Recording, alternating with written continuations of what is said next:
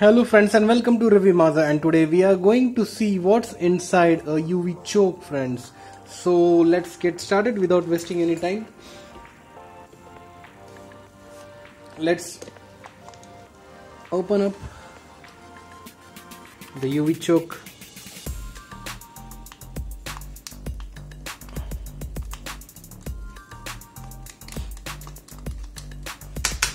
so friends UV choke are basically of two types.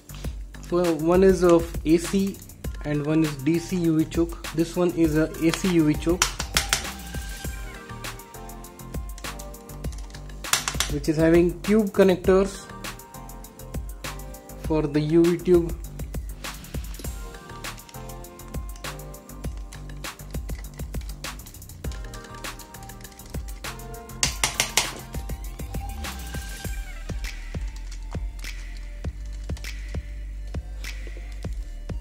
okay let's open it up.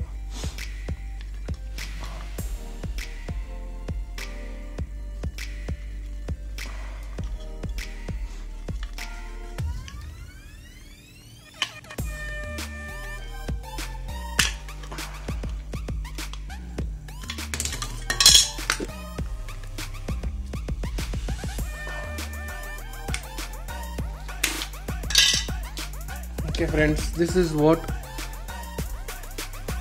inside a UV choke is.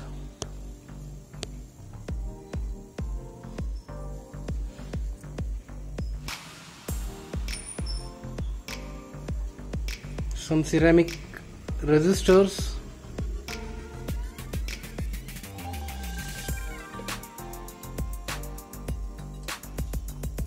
basically this is a bridge of four diodes ceramic resistor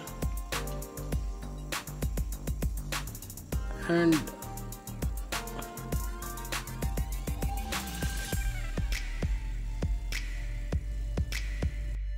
so friends this is a UV choke or the technical name for this is a UV ballast. So friends how does it works? How does a UV ballast work? So what happens friends technically generally when we use a general light bulb what happens? The electricity is passed through the filament that consists into that light bulb and the light bulb glows.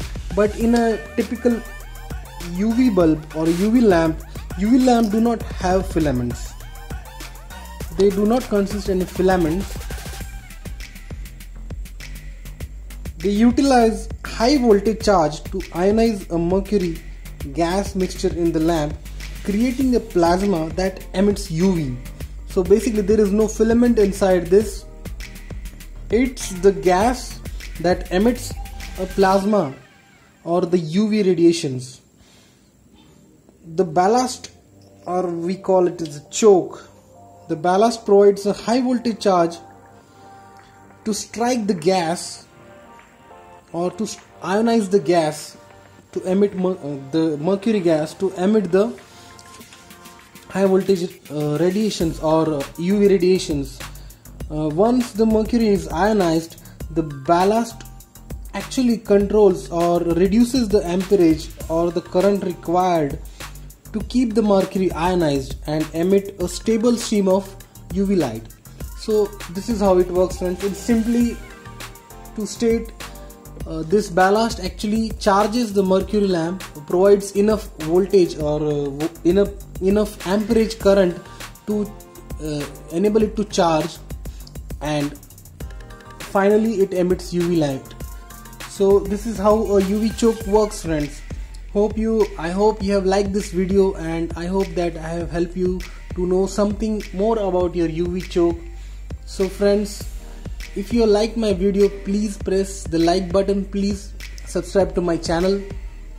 And please do share this video as much as possible because uh, I try to bring new videos every day for you friends. And if let's see we can at least get 20 likes to this video. I'll be very thankful to you friends. Thank you very much for watching and have a good day